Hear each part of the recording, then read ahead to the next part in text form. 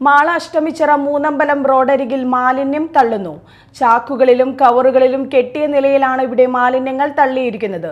ഇതുമൂലം തെരുവ് നായ്ക്കളുടെ കേന്ദ്രമായി ഈ റോഡ് മാറിയിരിക്കുകയാണ്. കാൽനട യാത്രക്കാർക്കും ഇരുചക്രവാഹനങ്ങളിൽ യാത്ര ചെയ്യുന്നവർക്കും അഷ്ടമിശ്രം മൂന്നമ്പലം റോഡിൽ നായ്ക്കൾ ഭീഷണിയായിട്ടുണ്ട്. കോഴി വേസ്റ്റും മറ്റു മാലിന്യങ്ങളുമാണ് രാത്രിയുടെ മറവിൽ ഇവിടെ തള്ളുന്നതെന്നാണ് നാട്ടുകാർ പറയുന്നത്. അഷ്ടമിശ്ര ആളൂർ റോഡിൽ നിന്ന് ചാലക്കുടി റോഡിലേക്കുള്ള എളുപ്പവഴിയാണ് ഇത്. അഷ്ടമിശ്ര മൂന്നമ്പലത്തിലേക്കും അഷ്ടമിശ്ര ജുമാ മസ്ജിദിലേക്കും പ്ലാസ്റ്റിക് കമ്പനിയിലേക്കും എല്ലാമായി നിരവധി ആളുകൾ ഈ റോഡിൽ യാത്ര ചെയ്യുന്നുണ്ട്.